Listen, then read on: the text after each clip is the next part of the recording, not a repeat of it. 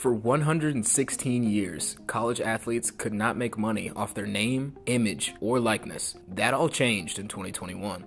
New state laws and NCAA rules went into effect at 12:01 a.m., allowing collegiate athletes to profit off their name, image, and likeness for the first time. It was the nudge from those states you're seeing on your screen right now that pushed the NCAA to finally offer a one-size-fits-all plan if approved on July 1st. You kind of knew it was coming. It was just a matter of when. Now that you know colleges are able to capitalize off of their name, image, and likeness, they're able to kind of receive a, a portion of what they contribute. For the average student athlete, it didn't change too much unless you were, in my case, Caleb Williams or Spencer Rattler or maybe Jadon Haselwood with 40, 50, 100,000 followers on Instagram and your following base is strong. It was either an economic rights issue, a civil rights issue, a racial justice issue, and for some, all of those, that it was just unfair that these college athletes were generating so much money, but were not allowed to be compensated for it. So let's dive in.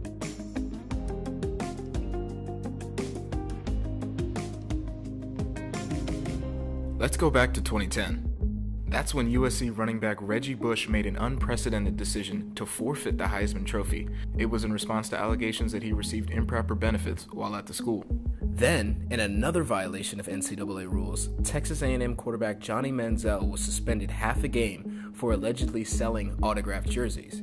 These two cases, although very different, sparked conversation about whether famous, already celebrity college athletes could make money from that fame. I don't know if it's a change in perception because I think we've always had two sides of, of, of the fence, right? You had one side who felt college athletes should be paid, and you had the other side who felt like they shouldn't be paid because that ruins the the ethics of what college, you know, sports is supposed to be. Then, in 2014, a landmark legal decision came in the NCAA vs. O'Bannon case that found banning payments to NCAA athletes violated antitrust law. Part of it was the O'Bannon, but remember in O'Bannon, the Ninth Circuit eventually reversed the NIL decision and said that the NCAA can prohibit NIL compensation because what defines them as amateurs is that they are not paid expenses untethered to education. And NIL was seen as untethered to education. The Ninth Circuit Court of Appeals ended up reversing part of the decision a year later, but affirmed the part of the ruling that found the NCAA in violation of the Sherman Antitrust Act.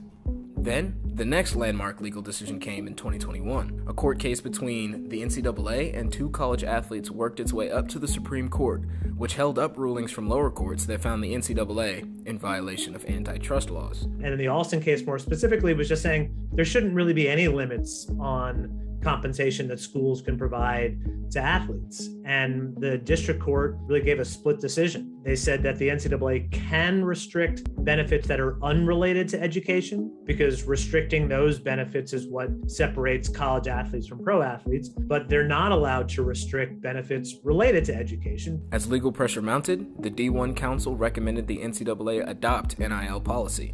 Just a few days later, the NCAA passed interim name, image, and likeness policy. Then a bunch of states passed legislation largely modeled after California's Fair Play to Play Act, which allows athletes to receive endorsements and sponsorships while keeping college eligibility. And more states have NIL policy going into effect in 2023, while some, like Alabama, have repealed their NIL laws.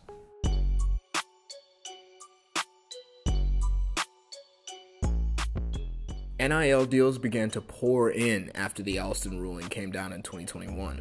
A University of Miami quarterback got NIL contracts with a moving company and local car dealership. Twin sisters playing basketball at Fresno State were signed by World Wrestling Entertainment in a deal reportedly worth six figures, in addition to other NIL contracts. Alabama quarterback Bryce Young reportedly had NIL deals reaching seven figures before even coming off the bench as a backup. Lesser known players have also gotten in on the NIL action. Two University of Oklahoma football players, for example, launched a podcast and have made money from merchandise, sponsorships, and more. Jeremiah Hall was one of them. If anything, I think that we came more together because of it. If somebody had a deal going on, I remember I think Brian Asamoah had like a pizza deal and we were all like retweeting and, and reposting it like, hey, like yo, plug us in with some pizza. Like you a pizza plug now, you know what I'm saying? So we, we were having some fun. And I remember when when Spencer got a got a deal, I think it was with Ford. He got like two cars. We all went on Twitter and uh, we were like, yo, anybody wanna wanna give a sooner a car? And uh You know, we, we have fun. An NIL deal can be anything from getting paid to sign autographs, working with a local dealership, receiving royalties for jersey sales, or even appearing in video games like the NCAA football series from EA Sports. NIL is definitely not for everybody. It's very similar to any sport where the where the main position is the person that has the ball most of the time. You know, in, in baseball, it's the pitcher. In football, it's the quarterback. In basketball, it's the point guard. It's the person doing the most scoring. Overall, it just gave us more to to take care of. According to Opendorse data, companies like Barstool Sports, Rhoback, and GoPuff have all offered NIL deals to college athletes. Lululemon and Unilever have also offered NIL deals. Most of the deals involve sponsored posts on social media, then comes signing memorabilia and other activities and licensing rights, like a potential NCAA game, for example. This integration hasn't been all smooth sailing.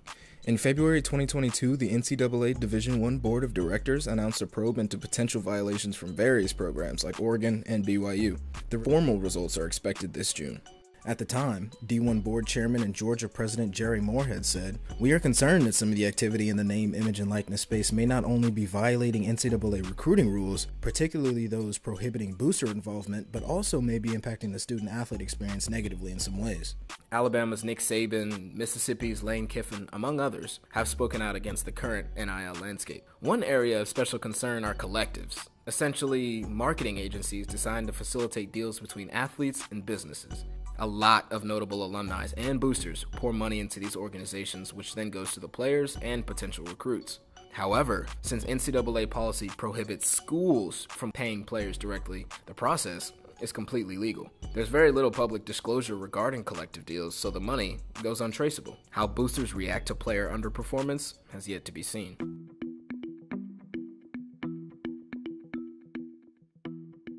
So, what's next for college athletics and federal legislation over NIL deals? Uniformity is going to have to be the way that this ends because you can't have different states having different laws on NIL because at that point, once it gets right down to it, again, you go back to the state tax issue. Perhaps those areas and those big schools that are positioned and located in areas that do not have state taxes, they might have the unfair advantage. I think their fear is that this is going to open the door to a series of antitrust lawsuits brought by plaintiffs challenging every restriction on athlete compensation that is unrelated to education or related to education. And that eventually the plaintiffs are going to win so many of these cases that there will be nothing left for the NCAA to be able to control that it will be up to, at best, the individual conferences or, or maybe the schools to decide how much they're going to pay athletes.